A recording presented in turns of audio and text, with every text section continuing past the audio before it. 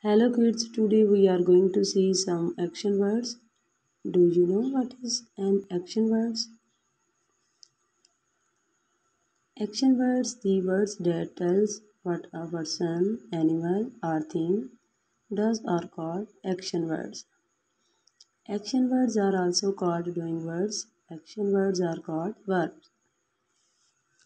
Nikki is into a lot of actions on a holiday First Nikki waters the plant.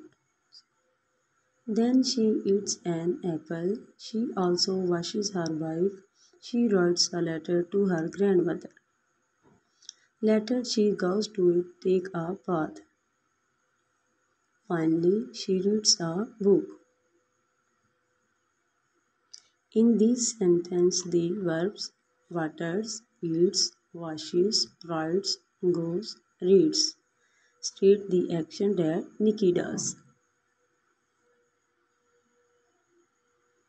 All these verbs are verbs.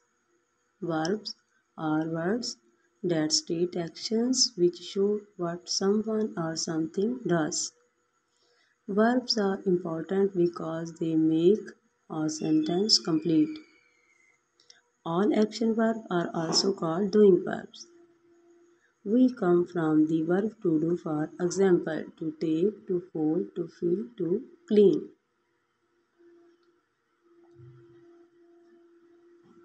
Ricky offers to take the dog for a walk.